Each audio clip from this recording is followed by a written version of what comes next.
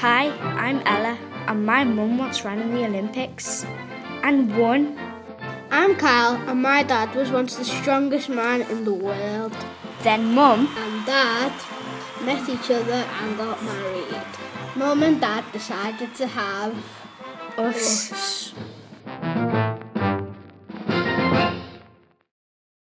And although they'd stopped being in the Olympics and stuff, mum and dad never gave up their training. Do you want to run again? Only problem was mum and dad wanted us to train too.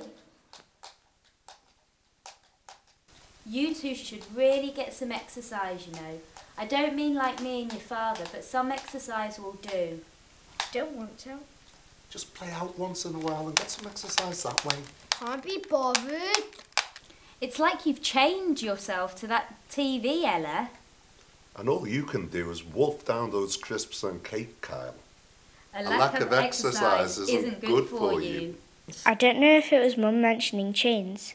Or dad mentioning wolf. But that night was. The night we started having the, the nightmares. nightmares. Then the giant lifted the house on.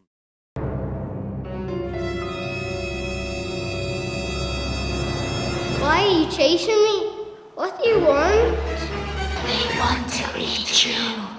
Because you are slow and full of yummy crisps and cakes. Does that answer your questions? Sitting in the dungeon doing nothing all day should suit you down to the ground. These chains will make sure you stay here forever. They're only made on paper, but a lazy kid like you will be able to break them. So from that day forward, we decided that maybe we should do some exercise. Just enough to make us feel healthier. And make our nightmares go away.